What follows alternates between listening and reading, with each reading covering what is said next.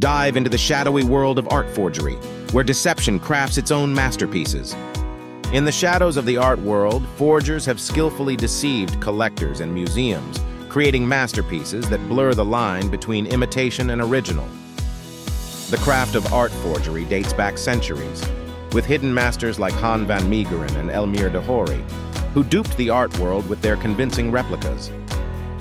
These forgers were not just skilled artists, they were storytellers who tapped into the desires and greed of the art market. Explore the intricate dance of deceit in the art world where the truth is often stranger than fiction, and discover how experts are using cutting-edge technology to unveil the secrets hidden in plain sight.